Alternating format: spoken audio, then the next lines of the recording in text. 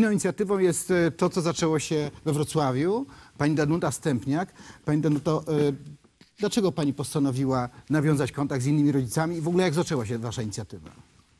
Jakby pierwszym sygnałem, który za- spowodował to, że w zasadzie wszyscy rodzice Wrocławia, których znam, łączyli się od razu w inicjatywę, była próba wprowadzenia w Polsce w zeszłym roku edukacji seksualnej typu B. Przy jednocześnie całkowitym braku informacji dla rodziców, jak taka edukacja miałaby wyglądać. Mogliśmy tylko usłyszeć ogólniki, będzie to pasowane do wieku dzieci i jest potrzebna, ponieważ takowej nie ma.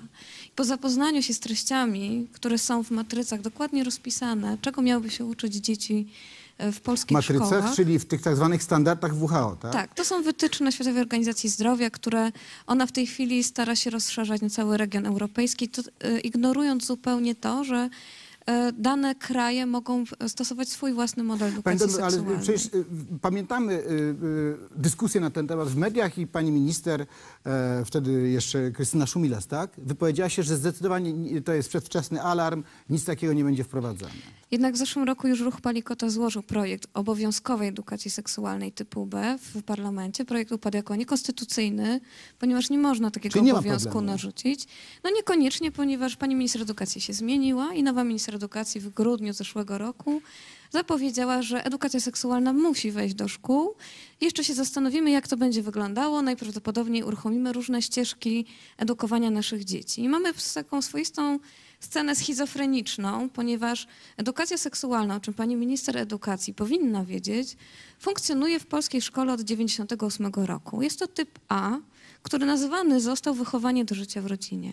I kiedy myśmy pokazywali rodzicom treści tego Myśmy, czyli programu, kto? rodzice, A jacy rodzice? rodzice zrzeszeni jako inicjatywa Stop Seksualizacji Naszych Dzieci, Czyli rozumiem, że powstała taka inicjatywa, tak?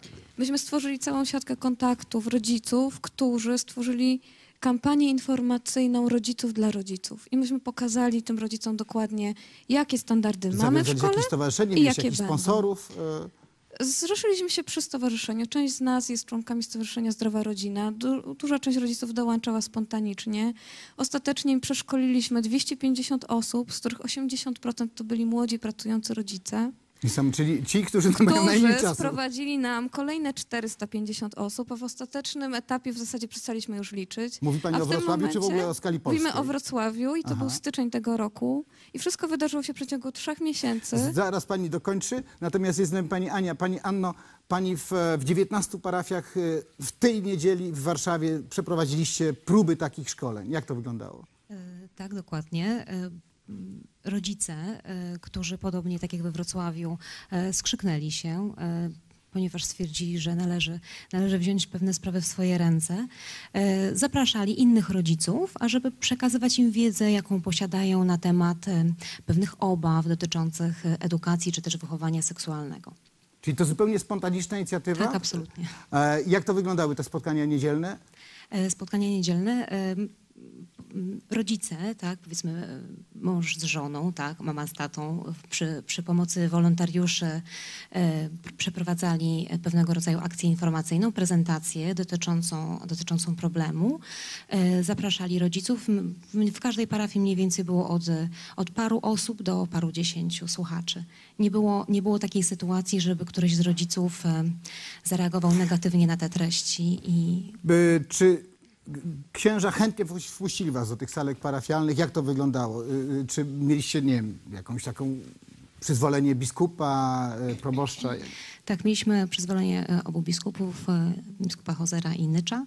E, Natomiast, natomiast jeśli chodzi o proboszczów i, i księży, no zyskaliśmy akceptację, chociaż podeszli do tego e, sceptycznie. Musieliśmy oczywiście zapoznać z tematem, z celem naszej inicjatywy.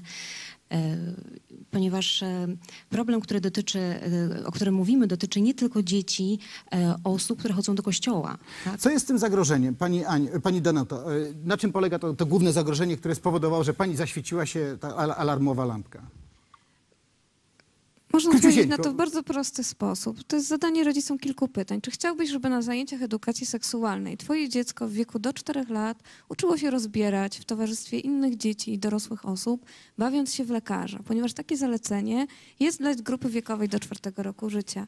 Sześciolatki miałyby mieć promowany homoseksualizm i proszę mi wierzyć, wielu liberalnych rodziców, kiedy słyszą takie zapowiedzi, mówią, ja takiej edukacji seksualnej nie chcę dla mojego dziecka.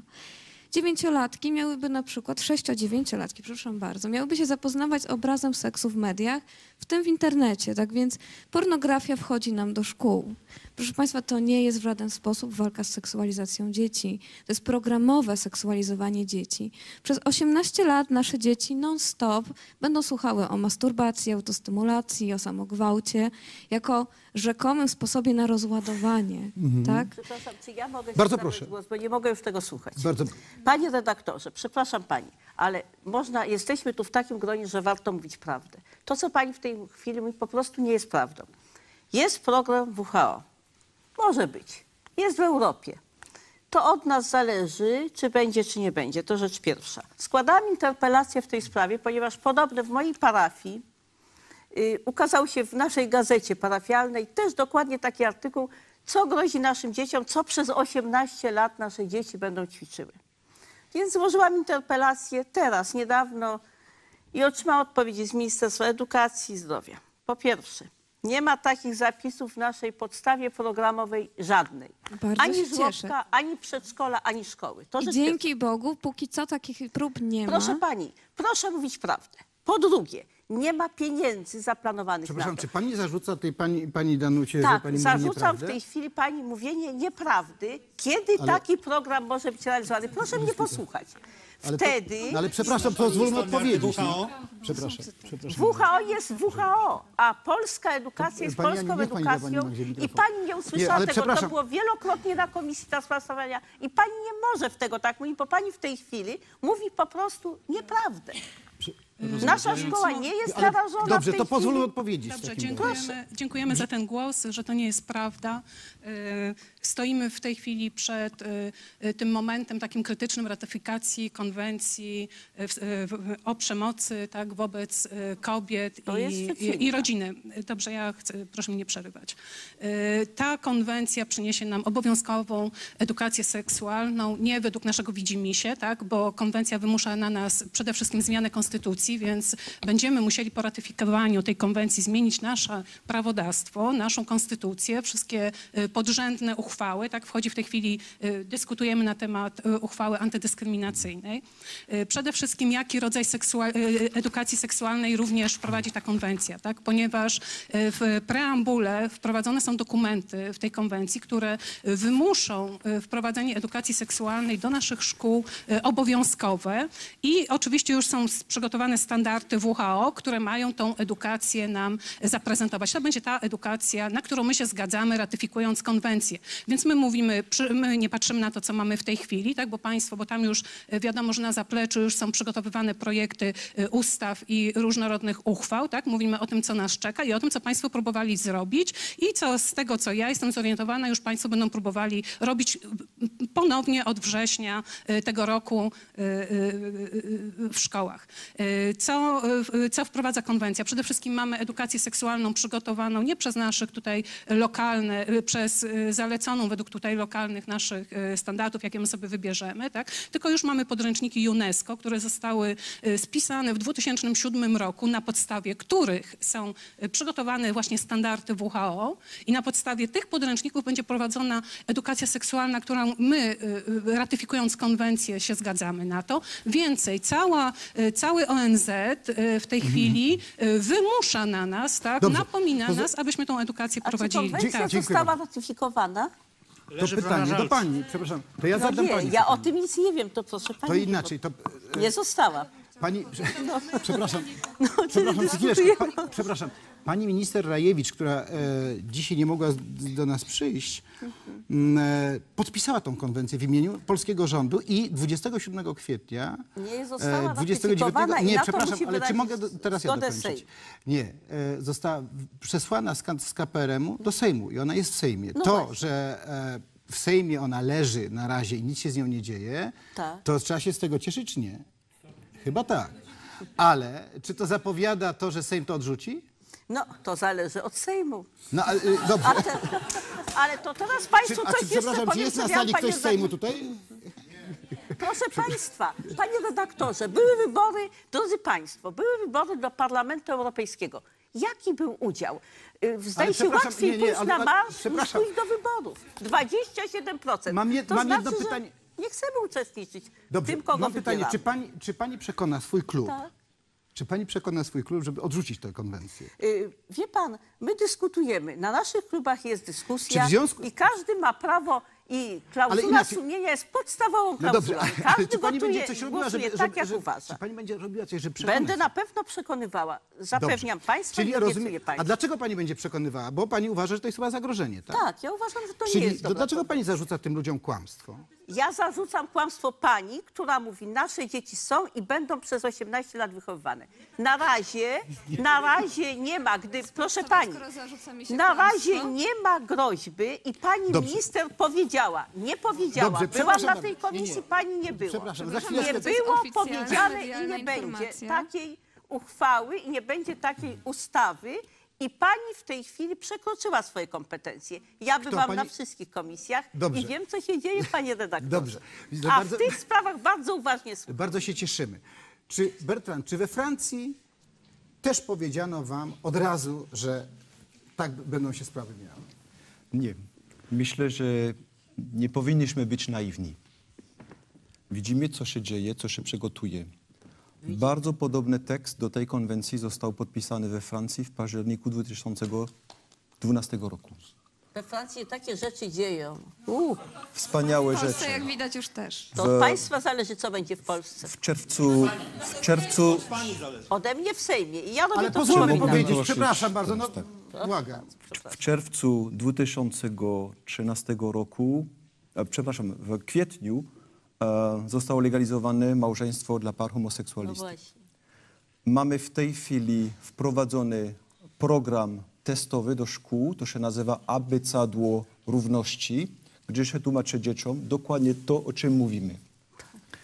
Został teraz, po ostatnich wyborach, została zmiana rządu, a nowy pan minister e, edukacji narodowej, Benoît Hamon, został zapytany, dlatego że w rektoracie Nantes, to jest blisko Atlantyku, był jeden dzień równości, gdzie zaproszono mężczyzn albo chłopaków, żeby szli do, do, do szkoły w, e, w spódnicach.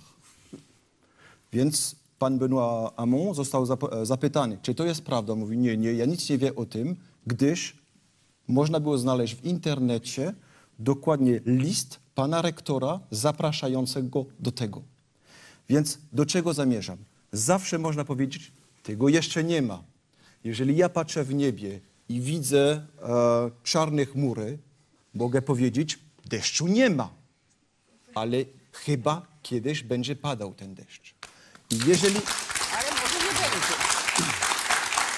A pani mówi, że już pada i o to chodzi. To znaczy, że we Francji mogę Państwu powiedzieć, że w sześciu miesiącach po podpisaniu tego programu już mamy cały program. Mamy już aborcja, kto chce. My mówimy o eugen, eugenicznej aborcji we Francji od 19 stycznia. Jak mama nie chce tego dziecka, do 12 tygodnia życia tego dziecka, koniec. Bez dyskusji, bez niczego. Mamy cały program. To jest tylko krok po kroku. Y, W związku z tym ta, to, że rodzice się zrzeszają, że angażują się, że swój prywatny czas, y, swoje, swoją energię, swoje prywatne środki przygotowują na poświęcone na przygotowanie prezentacji, szkolenia, chyba nie powinno nikogo przerażać, a tym bardziej e, bardzo gorąco e, będę protestował, jeżeli pani będzie mówiła, e, zarzucała kłamstwo czy mówienie nieprawdy. Chciałabym takie jedno słówko wrzucić, bo skoro pani nie reprezentuje Platformę Obywatelską, powinna się pani cieszyć z postawy obywatelskiej rodziców, którzy przecież mają niezbywalne prawo do decy- decydowania o tym, jak będą wychowywane ich dzieci, konstytucyjne prawo.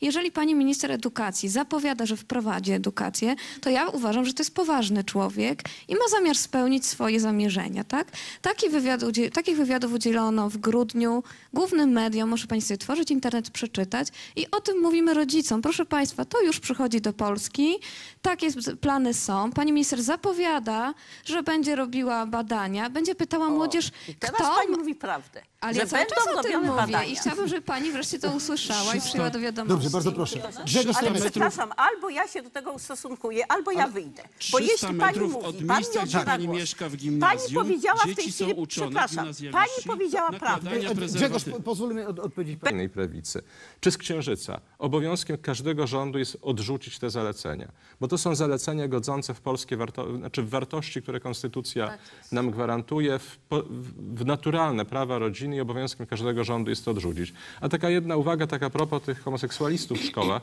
no po prostu oni są, dlatego że proszę Państwa, my mówimy o tym, co może być, a tak naprawdę czasami jest tak, że zanim ten duży deszcz e, lunie, To pytanie właśnie już do trochę do. Kai Godek bardzo Bo- króciutko, tylko, bo już nie mamy Lechu, czasu uwaga, zupełnie. Bo pamiętamy, pamiętamy aferę krakowską. Na czym polegała afera krakowska? Nie na Mówi- tym, że homoseksualiści w szkołach byli, tylko na tym, że była pornografia, bo gdyby nie przynieśli pornografii do szkół homoseksualnej, to w ogóle afery by nie było, bo to była normalna wizyta Na czym polega, przepraszam, na czym polega ten, ta inicjatywa Stop Pedofilii? Pani Kaj. Są już w tej chwili, jeśli chodzi o y, współpracę rządu z organizacjami, które... Króciusieńko, w dwóch słowach. Tak, to na przykład strona 49 sprawozdania z wykonania ustawy aborcyjnej za 2012, złożona w stycz, złożone sprawozdanie w styczniu bieżącego roku.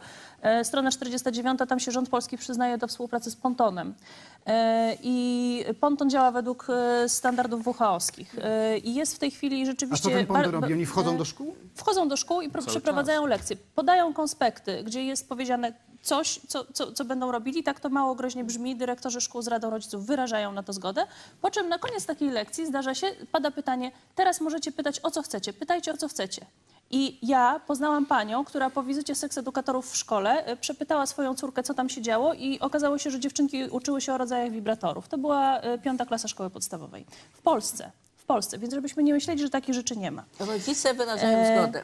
Ale tego nie było, ale tego nie było w programie. Ale tego nie było w programie. Pani Kaju, Dobrze, w dwóch słowach, na czym żeby, polega ta żeby pani uspokoić inicjatywa? te nastroje, bo jest rzeczywiście inicjatywa obywatelska w tej chwili, która się nazywa Stop Pedofilii, ponieważ te standardy przede wszystkim, one s- tam są, jest, są postulaty homoseksualne, Kaju, przede musimy wszystkim kończyć. pedofilskie. A czy mogę dodać Na czym jeszcze polega, do nie, na czym paragrafu- polega inicjatywa Stop Pedofilii? Chodzi o to, żeby do kodeksu karnego dodać taki paragraf, y, że y, karze podlega ten, kto publicznie propaguje lub pochwala podejmowanie przez małoletnich poniżej lat 15 zachowań seksualnych lub dostarcza środków ułatwiających podejmowanie takich zachowań.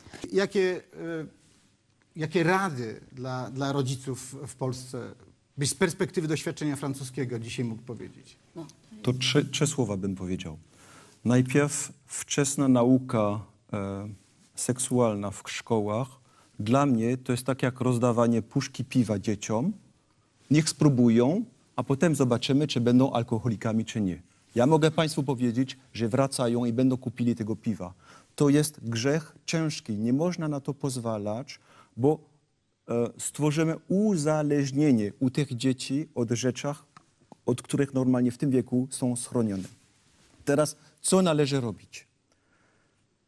E, Naród polski nam pokazywał, jak się walczy ideologią. Kardynał Wyściński wstał i powie, powiedział non possumus. On powiedział, w moim sumieniu nie mogę na to pozwalać. A my, rodzice, musimy stać i powiedzieć, nie możemy na to pozwalać. Się